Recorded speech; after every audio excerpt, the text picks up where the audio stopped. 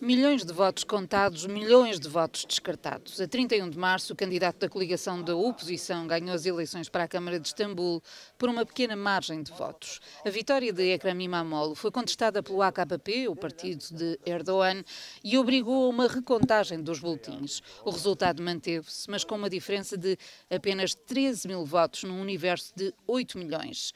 O Comitê Nacional de Eleições, que depende diretamente da Presidência da República, anulou o escrutínio por uma questão técnica.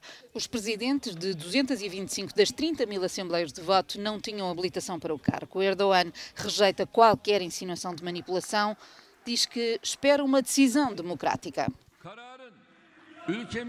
Espero que a decisão seja boa para Istambul e para o nosso país. Como políticos, vemos esta decisão como um passo certo para fortalecer a nossa capacidade de resolver os problemas dentro da lei e em democracia, deixando o julgamento para o povo.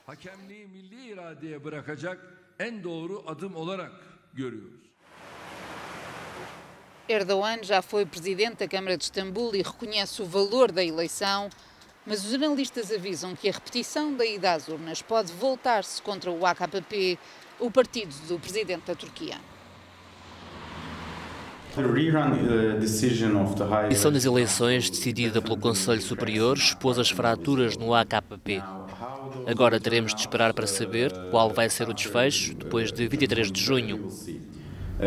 Obviamente que se o Sr. Imamoglu vencer, essas fraturas ficam ainda mais visíveis. A corrida para a Câmara de Istambul é vista como um teste à popularidade de Erdogan e à unidade no AKP. Binali Yildirim, o antigo primeiro-ministro, tenta o tudo por tudo para reverter as previsões.